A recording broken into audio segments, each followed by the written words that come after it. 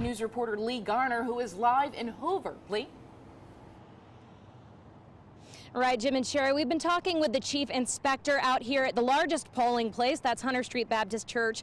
They tell us that the voter turnout's basically been steady all day, but it's right around this time of day after people are getting off of work, people are getting out of school, that they can really see an uptick in the number of voters. And of course, it is that three-way race between the candidates for Hoover mayor that's really bringing out the voters. They tell us that that's where the real interest is. If you're looking at some video of the crowds coming out a little bit earlier on today when we first got here. We grabbed a couple of them, wanted to find out what the issues were that really had them interested in this race. They tell us, of course, education. That's been a major talking point since the candidates even announced that they were running. Also, the economy. That's made it pretty interesting, too. Now, when we talked to polling officials, they told us the last official count as far as number of voters is concerned, 1,800 of about 8,000 potential voters. But again, it's in these last minute hours that they really see those numbers go up.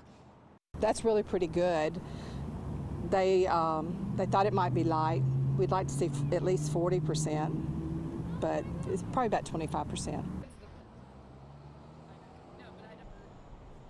And now that's the thing. We've also been in contact with some of the campaign managers about what these candidates have been out doing today. They tell